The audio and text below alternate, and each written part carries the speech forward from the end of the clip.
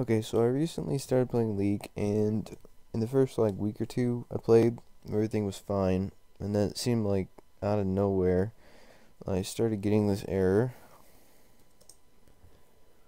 It says did not receive response from server. Attempts blah blah blah.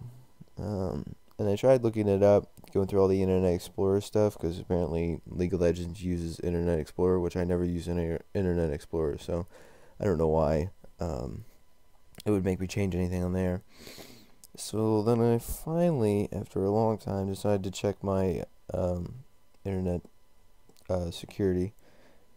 I used a Norton and went to the firewall and then the program rules and then scrolled down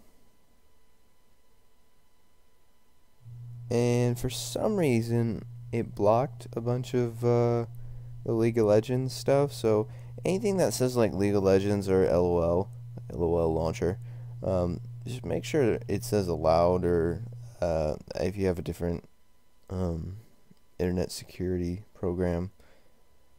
Uh, I don't know, probably say allow or something along those lines. Just make sure all those are allow, and then you should be able to log in.